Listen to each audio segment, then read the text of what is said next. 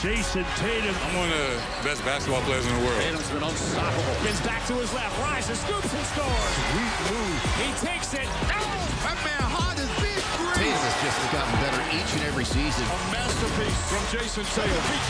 NBA Game 7 record 51. Game seven was incredible. Uh, it felt good just to have another opportunity to bounce back individually and, you know, as a team. You know, that was a special, special day. You know, I knew I was gonna have a good game. I didn't, you know, I didn't know I was gonna score 51, but um, it felt good just to get going from the start. Tatum is a driver here this Sunday afternoon. Tatum's up to 14 in the first half. Confidence, as cliche as it sounds, comes from the work that you put in every single day, even after practice when nobody's looking. The hours that you put in as a kid growing up, you know, they all circle back to this moment. The moments are the brightest, stage is the biggest. You have to have that self-belief and confidence and that you belong in these moments. Tatum bamboozled him with a nice move inside.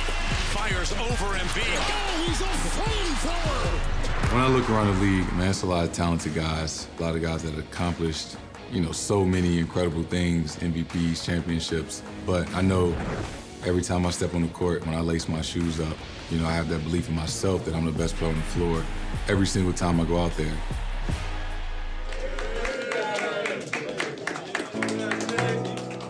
Buddies, Xavier, having him at game seven, you know, that was icing on the cake. That I met Xavier about six weeks ago. You know, he was diagnosed with cancer, a condition behind his eye. And, uh, you know, I met him and I gave him a pair of shoes. And uh, really, it was a short encounter. But, you know, he impacted me. And the next day, you know, I text, you know, somebody from, you know, organization. I was like, hey, can I get the family's info if I ever wanted to go see him? Because I felt the connection. And, you know, we've stayed in touch since then. You know, as a parent, couldn't imagine what that would be like to, you know, have your child dealing with something like that. So to have his his mother there on Mother's Day to witness her son get to experience something like that and the joy that the game brought him. And it was kind of inspiring, you know, because, you know, he looks at me like a superhero and we learned a lot from each other. Jayson Tatum. You name it, he does it well.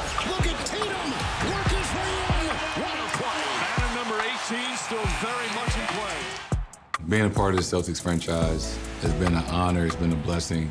Uh, it's been, you know, one of the best things that's happened to me, being able to play in front of these fans, put on the same uniform as some of the, you know, the greatest players that's ever played this game.